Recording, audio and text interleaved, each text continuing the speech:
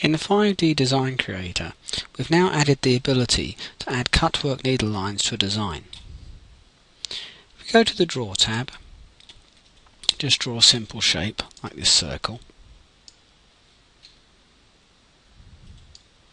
What we can now do, using the wizard, I'm going to send this through to the Create tab.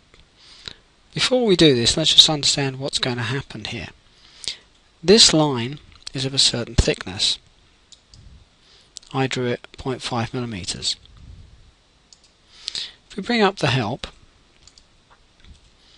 and look in the center wizard object layers section, if we scroll down to the bottom of this, we can see here a scale which is saying basically that a 0.5 or 1 millimeter line will be converted to a running stitch the running stitch length will be 1.5 millimeters. Okay, so we just now send it through to the wizard using the retain individual object layers option. And here we have our running stitch ring.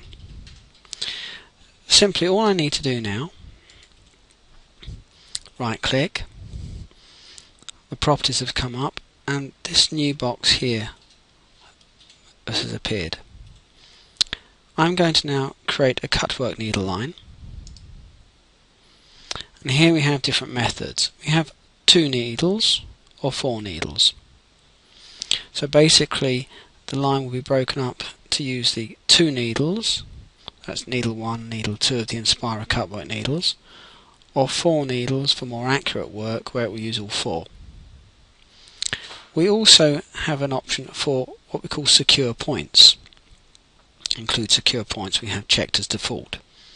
And the distance between these secure points is 30 millimeters. So basically what that means is the machine will stitch around here 30 millimeters and then it will make a small jump when using the needles of about 2 millimeters and then carry on cutting out the work so that when actually you cut um, the workout using the Inspira cutwork needles, this inside won't start moving around. You actually need to cut it out by just snipping off these secure points. And that's obviously just a personal choice. So we apply that.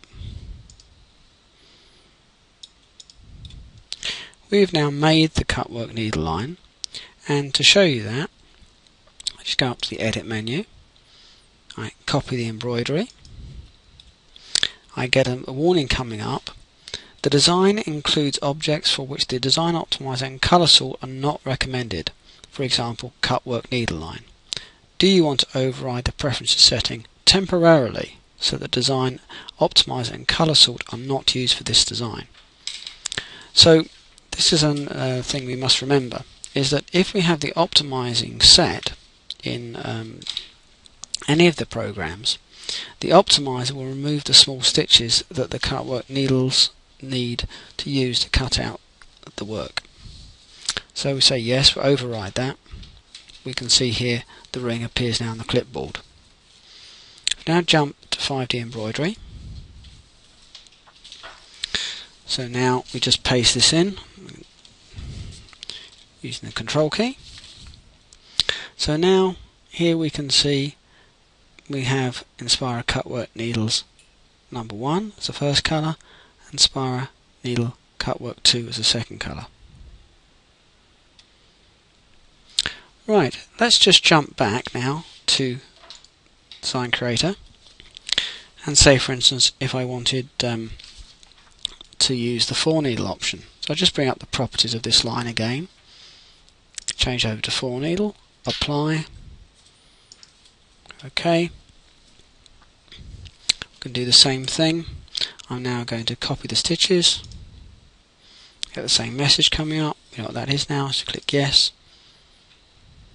Go back to 5D embroidery. Going to delete this design.